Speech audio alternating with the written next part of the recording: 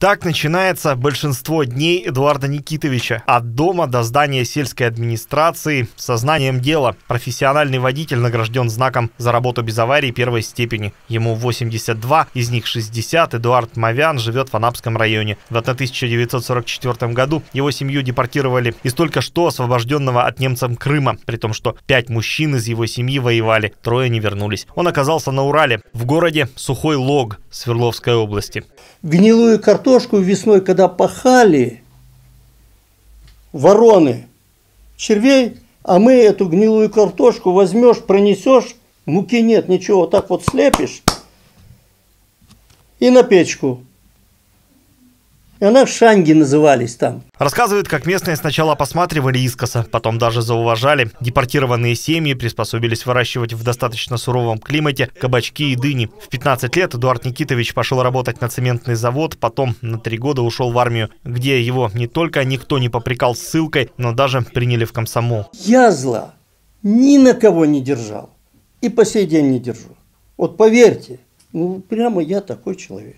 Главный жизненный принцип – делать добро. Только добро.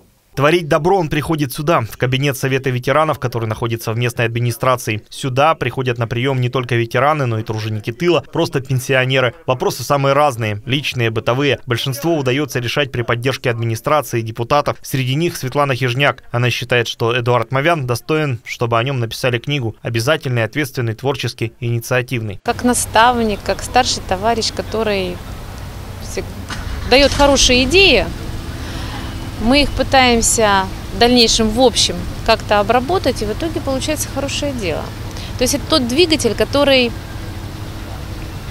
непосредственно где-то начинает свое движение, и за которым потом идет такая большая волна, и в итоге все получается. Одна из таких идей – этот монумент детям войны и труженикам тыла в станичном парке. Высокий камень символизирует крепость и силу народного духа, а плоский – чашу со слезами. Нельзя забывать людей труда, людей, которые делали много для фронта. Фронт бы не выжил, если бы не эти люди – участники, как говорятся, трудового народа. Они голодные, холодные, понимаете, они все для фронта делали. Эдуард Никитович узнал, что такой монумент есть в Динском районе. Снарядили экспедицию из пяти человек. Общественник Овик Маргарян отвез на своей машине, а затем и помог реализовать проект. Самое интересное, что он спокойно скажет ту свою мысль, которая она всегда идет прямо в точку.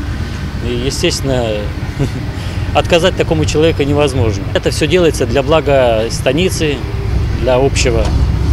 И всем от этих э, последствий, скажем, его мыслей, всем становится хорошо. За большими делами не забываются малые, но не менее важные. Вот открытки для именинников. А скоро сюда придут станичники с самыми разными вопросами.